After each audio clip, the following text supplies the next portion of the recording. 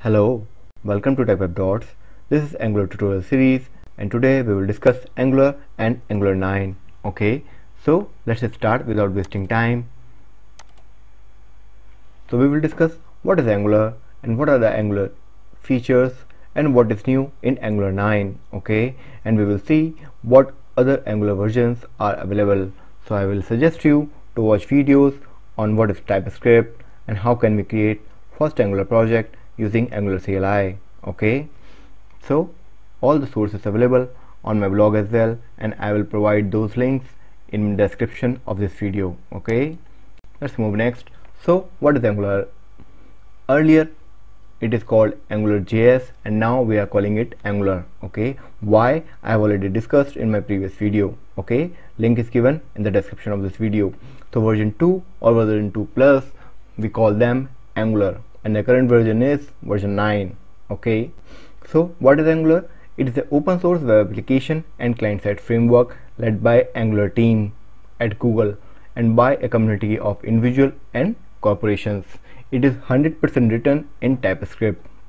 It is cross platform it means it can run on any machine any operating system and it support with super speed and performance angular has a different expression syntax focusing on a square bracket for property binding and round braces for event binding okay? It has modularity it means much more functionality has moved to modules and components okay? It has form validation which is very important. Server communication it can easily communicate to server. It is injectable and testable as well. That's why angular is most popular. So what other things regarding angular is? Angular has a component based architecture. Yes you are hearing right. It is a component based architecture inspired in which it is easy to handle large enterprise level application right? When there is a separate component we can manage them very easily. With angular we can build single page application as well reusing its routing module. Routing is very important role which is playing in angular there are two types of directives. In angular one is structural and second is attribute type. Structural says directive modify the layout by altering HTML element in DOM. And attribute says directive change the behavior of appearance of the existing DOM elements. Okay? Like look and feel. So what next?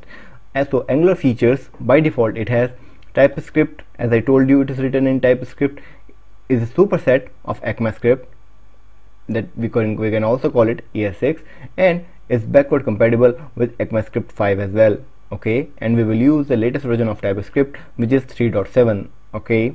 So Angular recommends the use of Microsoft TypeScript language which introduce the following features which are very useful like static typing including generics directives two-way binding reusable components depend dependency injection services routing http client annotation dynamic loading asynchronous template compilation and lot more okay? So if we talk about available versions of angular right now you can see the version 1 was angular.js which was initially released in october 2010 okay? And since then version 2 3 4 5 6 7 8 and 9 is the latest one and version 3 is skipped okay? So angular version 9 the what's new in this?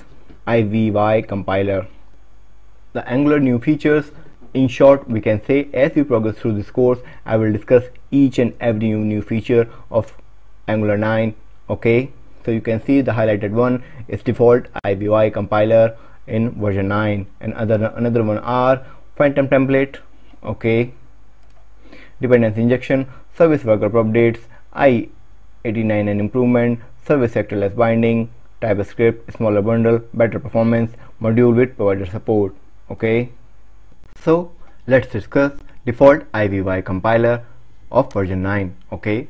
So what what it says ivy is the code name for angular next generation compilation and rendering pipeline. Yes you are hearing right? Next generation compilation and rendering pipeline. Ivy compiler is the most interesting and default compiler and renderer as well. The renderer is an engine that takes your component and template and translate them into instruction that manipulate the DOM okay? IVY is an, is an internal component so you don't need to interact with it directly okay? However it will work behind the scene and it can have significant impact on your code yielding much smaller javascript bundle and increasing performance because bundle size will be smaller okay? Ivy is actually designed to solve the major problems of angular that is performance and large file size okay? With the version 9 release of angular the new compiler and runtime instruction are used by default okay? And instead of old older compiler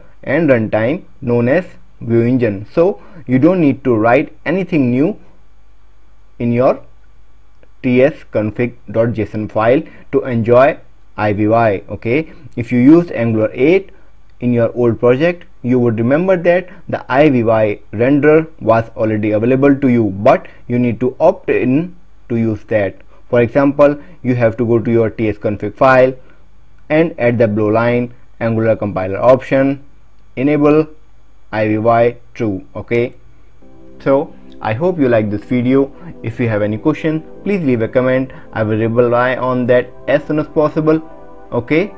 Thanks for watching and in our, in, and in our upcoming next video, we will discuss Angular 9 project structure and how it actually works. Okay. Thanks for watching. Have a good day. Stay safe.